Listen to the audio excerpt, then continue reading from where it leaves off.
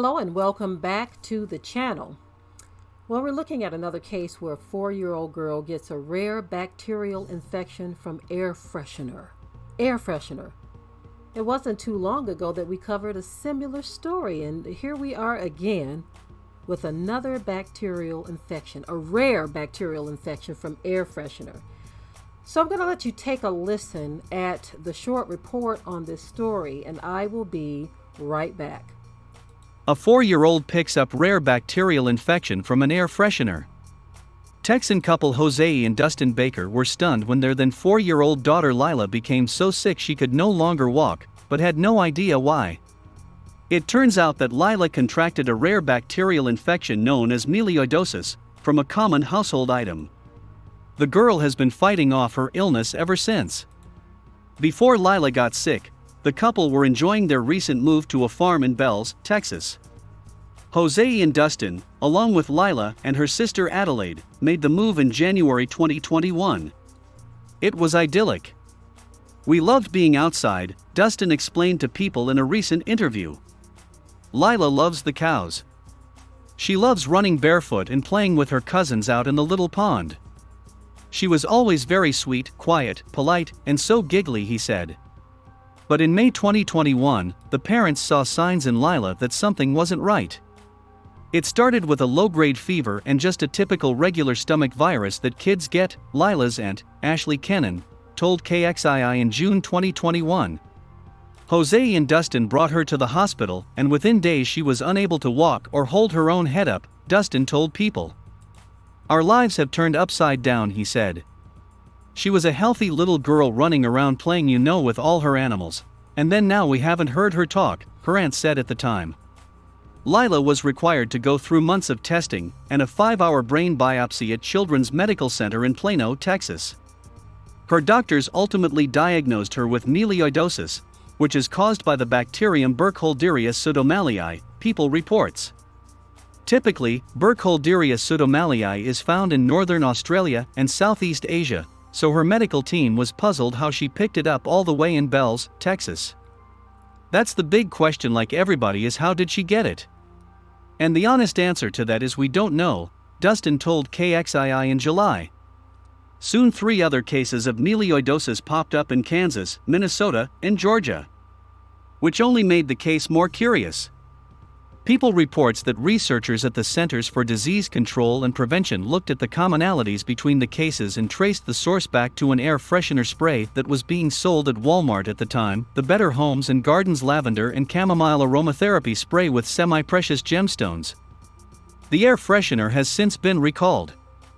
The product was made in a factory in South India, although the CDC is still trying to figure out how the bacteria made its way into the air freshener. Authorities believe it might have come from the water used to make the air freshener or the semi precious gemstones, which could have been contaminated before it was packaged. You know, it's, it's really sad to say, but people are getting so accustomed to seeing and hearing stories like this very tragic stories where it's somebody else's problem or somebody else's issue to where it's just a story, it's just something they're hearing about, right? It isn't until these very things visit someone else's door to where they finally realize that uh, the angel of death or affliction is out here visiting people, regardless to whatever, what, whatever race you are, regardless to your age, your gender. It's like the angel of death is visiting people and taking out relatives, loved ones, the angel of destruction, the angel of affliction, all over the planet. Now, this little girl, she is suffering from something that sounds like it's preventable. Now, they've traced this bacteria back to maybe some um, dirty water that was used to make the air freshener. We forget that these products that we bring into our lives, into our homes, originate somewhere. We just take it for granted that it, just because it comes in a nice, colorful, shiny, clean looking package, that the environment that the product was created in is the same. But when you look at what was described that's happening with this child right now, we need to get our eyes open and see that these companies, these companies are making millions of dollars, billions of dollars. And people have to pay or suffer the consequences for their faults. It's getting to the point where you're going to have to start making your own stuff because most of us think air freshener is very, very safe, right? Something we don't need to think about. Before that last story, I'd never, well, I, I did sort of think about air freshener because of my own experiences, right?